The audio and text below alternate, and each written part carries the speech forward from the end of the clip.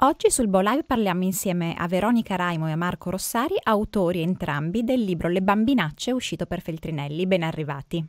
La prima domanda è per Marco. La curiosità che sta dietro al- allo sfogliare questo libro è come nasce Le bambinacce e perché?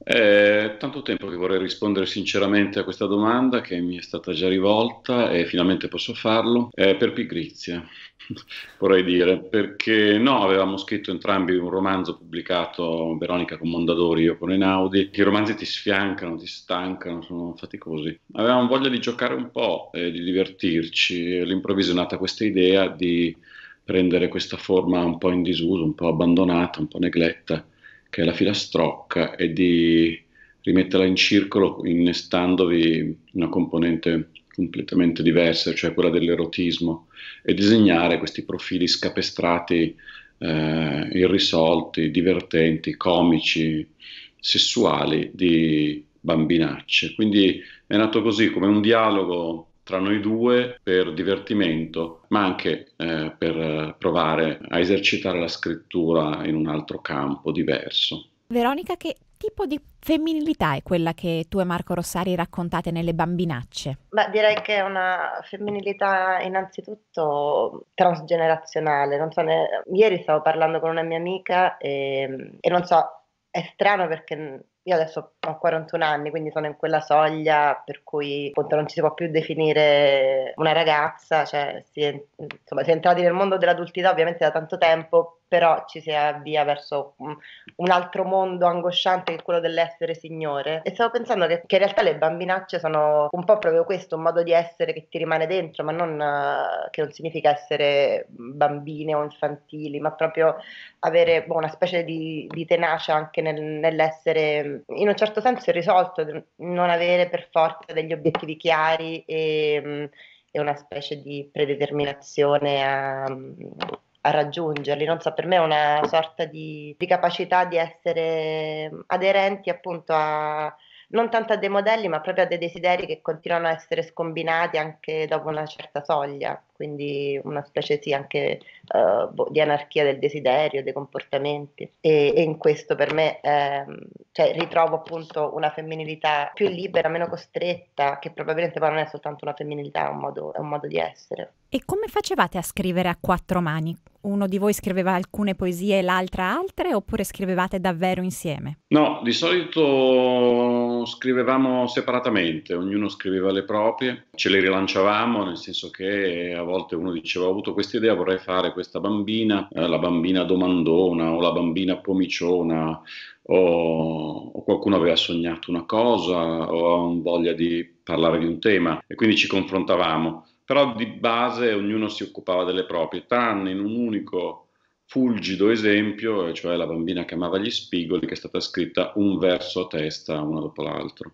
Un'altra curiosità, com'è stato lavorare a questo progetto con, eh, a quattro mani e a quattro mani con un uomo per raccontare le bambinacce? È stato molto bello, anche, anche molto nuovo, nel senso, quando poi abbiamo cominciato a lavorare a questo libro, io e Marco ci conoscevamo in realtà pochissimo, il che credo sia stato anche un bene perché hai uh, in un certo senso insomma, un'ansia di prestazione proprio perché hai a che fare con una persona con cui non hai un'estrema confidenza. Dall'altro lato credo, cioè questo ci abbia dato anche un, um, un certo rigore proprio perché non, non, ci conoscevamo così bene, per cui nel senso secondo me ci ha portato ad essere in un certo senso più professionali, non, non si poteva, non so, adagiarsi su appunto, prima ancora che diventasse poi un progetto vero e proprio, perché abbiamo deciso soltanto dopo che in effetti fosse un libro. Abbiamo provato così in maniera abbastanza scherzosa a provare appunto a raccontare un tipo di femminilità diversa e però appunto forse se fossimo stati degli amici, se ci fossimo conosciuti un po' meglio di quanto effettivamente ci conoscevamo, forse dopo due giorni avremmo interrotto questa cosa. E invece siamo andati avanti e per me è stato interessante anche perché appunto avevo subito qualcuno con cui confrontarmi su quello che avevo scritto, appunto scrivo una poesia sul porco spino, in altre circostanze probabilmente ho detto, boh, vabbè, ok, questa cosa mettiamola da parte, pensiamo alle cose serie, tipo, non so, scrivere un romanzo, a tradurre dei libri. In quel caso avere una persona che stava giocando insieme a me a qualcosa prosa mi faceva sentire anche più sicura di poter esplorare de- delle cose completamente astruse a cui non sarei arrivata forse da sola, ma mi sarei, mm, boh, forse anche imbarazzata di più di quanto poi potessi fare se un'altra persona mi dava, riteneva credibile quello che stavo facendo. E un'altra curiosità, uh, sono bambine, in realtà c'è anche un bambino, ma sono prevalentemente bambinacce. Come ha influenzato quest'opera la presenza di un autore con una sensibilità maschile nel descrivere le bambinacce? È difficile da dire. Sì, il bambino ho voluto mantenerlo io, ehm, insomma, volevo che ci fosse almeno un, bambinaccio dentro questa, questo gineceo, chiamiamolo. L'idea di partenza in realtà era di fare un libro, sì, di eh, neofemminismo, partita molto da Veronica, di neofemminismo scapestrato, ironico, comico, diverso, poco normativo, ecco. È stato bello però istruirci anche la mia sensibilità, credo anche per me è stato bello introiettare il femminile, eh, entrarci dentro, dialogare con Veronica, eh, trovare idee, trovare spunti. Penso che sia mh, necessario, impellente anche che gli uomini entrino nel discorso femminista e non ne siano esclusi eh, proprio per uh, assumerne le caratteristiche, per, per, capire meglio l'universo femminile e anche di conseguenza quello maschile che è mh, correlato. Eh, alcune filastrocche sicuramente, alcune bambine non le avrei mai potute scrivere se non avessi avuto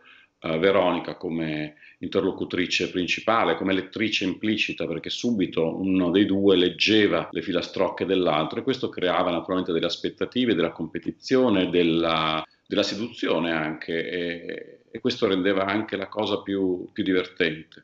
Ma tra queste bambinacce che sono molteplici e tutte un po' bizzarre, ce n'è una in particolare a cui sei affezionata? Non so, quella che amava i porcospini, quella con la testa tra le nuvole, quella che arriva su Marte, cioè ce n'è una in particolare che, che ti è rimasta dentro o che esprime qualcosa in particolare a cui tenevi? Appunto citavi questa che amava i porcospini che è una filastrocca talmente strampalata, appunto c'è questa bambina che si innamora anche quasi sensualmente di un porcospino, quindi non so, una filastrocca un po', un po' new weird direi e non so neanche bene come sia uscita fuori. Mi, mi, ricordo appunto che avevo visto, stavo al mare, ho visto questo porco spino e mi ero emozionata davvero come una bimbetta davanti a questa creaturina, che poi in realtà non era un porco spino, era un riccio, però il porco spino, il porco spino è quello più grosso e più brutto, però suonava meglio porco spino. E, mm, e non so, è venuta fuori questa, filastrocca strana che poi diventa un po' così anche metafisica, onirica e, e mm, ci sono affezionata perché veramente mh, mm, mi sembra assurdo averla scritta e, e, che poi il bello della scrittura quando insomma uno riesce ancora a sorprendersi di tirare fuori delle cose completamente assurde mm, e, e che non sapevi di, di, avere dentro, cioè non che non sapessi di avere dentro un amore per i porcospini, però non avrei mai immaginato di scrivere una specie di filastrocca erotica new weird su una bambina che si innamorava di un porcospino. E come mai avete scelto proprio i versi in rima, cioè la filastrocca? Di partenza abbiamo pensato a un, um, a un, vecchio libro di Tim Burton, il regista di Beetlejuice, Edward Mani di Forbice e tanti altri film, che si chiamava Morte malinconica del bambino ostrica.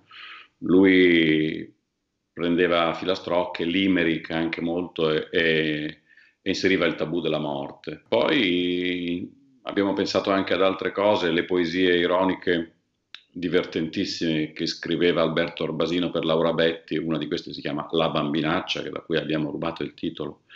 E, e quindi abbiamo detto perché non facciamo la stessa cosa, eh, questo gioco di rime, di ecolalia, di linguaggio infantile, tutto quello che ti viene vietato ormai quando scrivi prosa, perché devi evitare le rime interne, devi evitare le ridondanze, devi evitare tutte queste cose e all'improvviso recuperare tutto questo armamentario come da una soffitta e, e rimetterlo come dei balocchi, rimetterlo, rimetterlo, in gioco. E così da lì è subito nata la prima filastrocca, poi la seconda, la terza e a un certo punto era diventata una specie di piacevolissima droga perché le parole spuntavano, dimenticate, neglette dall'infanzia, eh, come se fossero rimaste lì ad aspettare per tanto tempo, a ritrovare le rime, a ritrovare i giochi, le assonanze e, e da lì queste 55 filastrocche hanno preso vita.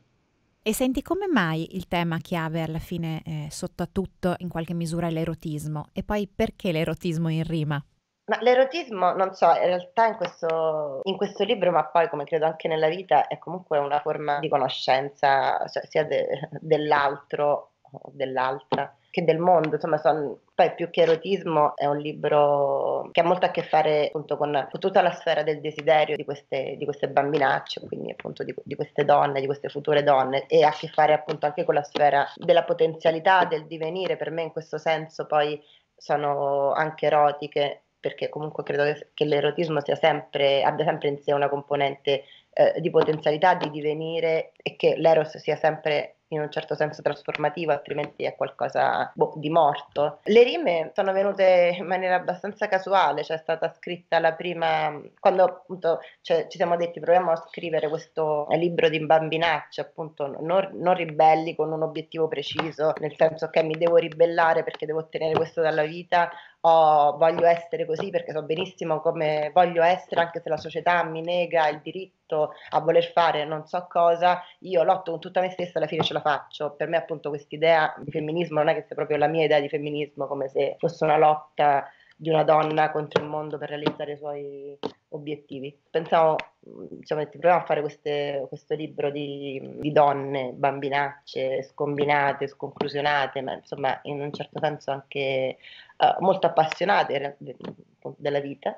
E, ehm, e, la prima è venuta, è venuta in rima, forse non so, era talmente strambo e anche boh, so, magmatico il progetto in sé che credo uh, la rima ci abbia dato una, una, struttura, insomma anche un contenitore, riuscire a creare questi mondi che però fossero uh, da un punto di vista formale più limitati. È stata una cosa inconsapevole, poi il momento in cui è stata scritta la prima filastrocca abbiamo pensato, beh sì, è una stramba, è proprio una forma narrativa che non avremmo mai immaginato e anche in questo caso la cosa bella era proprio usare uno strumento, un dispositivo che non ci saremmo aspettati. E qual è il pubblico delle bambinacce? Avete pensato ad un pubblico mentre scrivevate oppure no? Era un gioco solo tra di voi?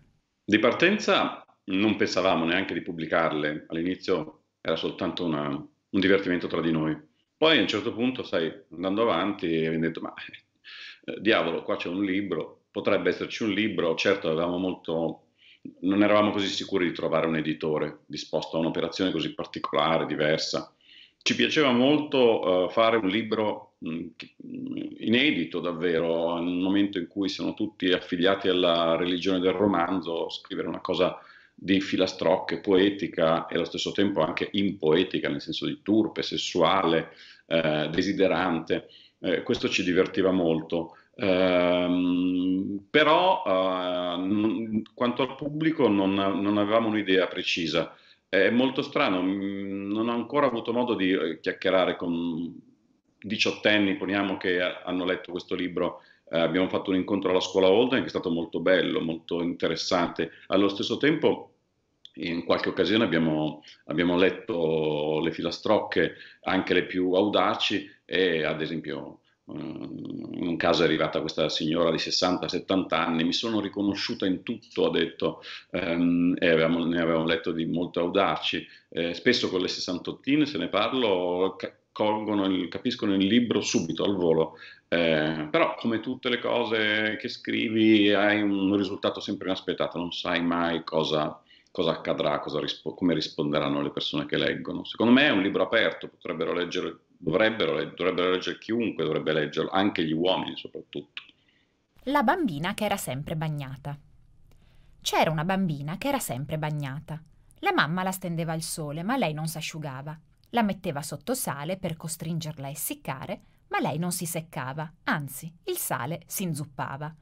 Provò a farla evaporare, ma il vapore s'addensava. Poi pioveva giù a cascata sulla bimba già bagnata. Tentò a tempo perso con l'asciugatrice i taci, ma poi quella riemerse con gli arti tutti fradici. La piazzò in penitenza davanti al fonto Shiba e la sola conseguenza fu una bolletta depressiva.